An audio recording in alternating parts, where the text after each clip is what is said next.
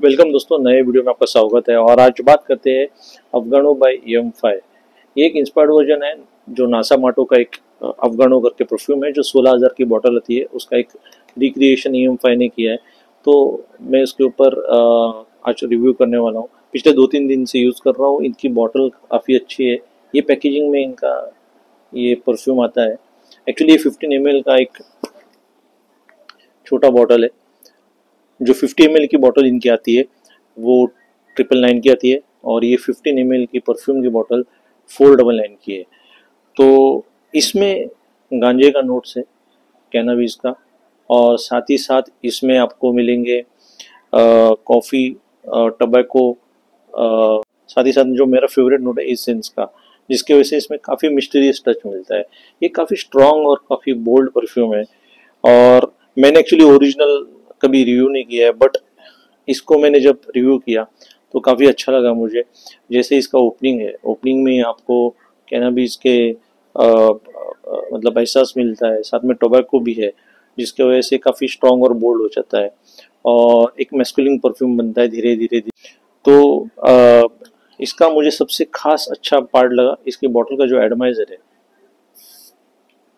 एक ही स्प्रे में कितना जूस इसमें से निकल गया आप अंदाज़ा लगा सकते हो क्योंकि ये कभी कभी ये जो एडमाइजर है ये परफ्यूम बॉटल की कॉस्टिंग बढ़ाता है।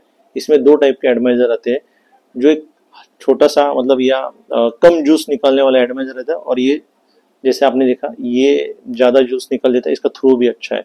तो इसके वजह से भी कॉस्टिंग बढ़ती है परफ्यूम में। तो ई एम फाइव ने एक अच्छा काम किया है। साथ ही साथ जब आ, स्प्रे होता है तो काफ़ी एरिया कवर होता है। और जिसके वजह से आपको सिर्फ़ दो या तीन स्प्रे में काम चल जाता है। आप अगर छः स्प्रे लगाने की कोशिश करोगे तो शुरुआत में इस परफ्यूम को छः स्प्रे में मत करना, क्योंकि एक परफ्यूम मैं अगर कहूँ, ये परफ्यूम वही लगा सकता है जिसको परफ्यूमरी में इंटरेस्ट है, जिसमें क्यूरियोसिटी है कि परफ्यूम कैसे होता है।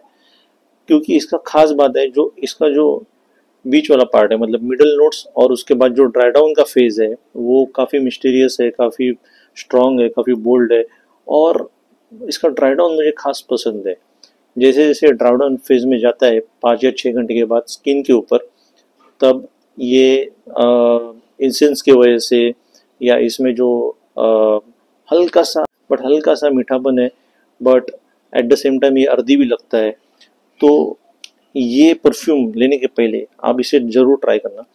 अदरवाइज़ क्या होगा ये ब्लैंड बाई करोगे और फिर दो तीन स्प्रे में अगर आपका दिमाग घूम गया तो फिर पैसा आपका वेस्ट हो सकता है। इसको समझना पड़ेगा परफ्यूम को। और इसको समझने के लिए मुझे कम से कम दो या तीन दिन गए। और ज़बरदस्त परफ्यूम है मेरे हिसाब से। अगर ओरिजिनल अफगानों में यूज़ करूँगा, तब समझ में आएगा कि कैसा है। बट ई एम फाइव उन्होंने इसमें जो काम किया है, वो काफ़ी ज़बरदस्त है। मुझे एक्चुअली मेरे पास वर्ड्स नहीं है इसको एक्सप्लेन करने के लिए। बट आपको अगर परफ्यूम का असली मज़ा लेना है मतलब जो रोज़मर्रा के डिज़ाइनर और ब्रांडेड परफ्यूम है जैसे पाको रबान हो गया इन्वेटिक्स एक्वा हो गया एक्वा जो परफ्यूम हो गया, या फिर आप कह लो दियोर सवाज हो गए, ये सब अभी कॉमन हो गए ओवर यूज़ हो रहे आर्माफ का क्लब दी इंटेंस हो गया बट उससे भी हट के आपको अगर कुछ लेना है तो इस परफ्यूम को आप ज़रूर ट्राई करना। इसके साथ मुझे और एक याद आ रहा है परफ्यूम इंटरल्यूड अमौज का इंटरल्यूड वो भी ऐसे ही परफ्यूम है मतलब जिसको भा गया, फिर वो उस परफ्यूम मतलब उसका वो सिग्नेचर सेंट बन जाता है।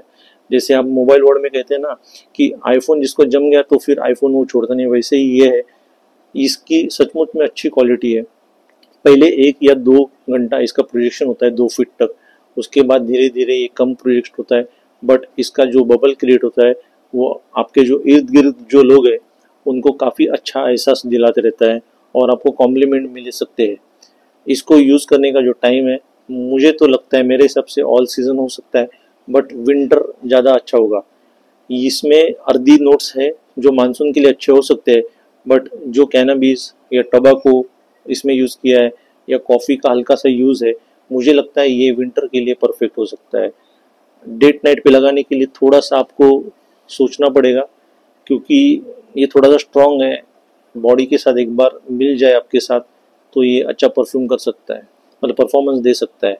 फिर भी मैं आपको कहूँगा, जो अबो थर्टी के जो जितने भी मर्द है, उनको ही लगाना चाहिए मैच्योर्ड लोगों को ज़्यादा लगाना चाहिए। ये जिम में काम नहीं करेगा।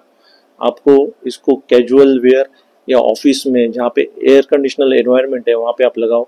कॉर्पोरेट मीटिंग्स के लिए आप इसको यूज़ कर सकते हो। अगर इसका जो सेंट प्रोफ़ाइल है, उसको मैं अगर डिस्क्राइब करूँ तो आप सपोज़ जेम्स बॉन्ड जैसी जो जेम्स बॉन्ड जैसी जो पर्सनैलिटी है जिसकी, जिसके चेहरे पे काफ़ी मुश्किल से स्माइल आती है, वैसा पर्सन जिसको सब लोग डरते हैं, ऐसे पर्सन के लिए ये परफ्यूम परफेक्ट है। तो मैं रिकमेंड करता हूँ, पहले ये 15 एम की बॉटल खरीदो और उसके बाद अपना डिसीज़न बना लो।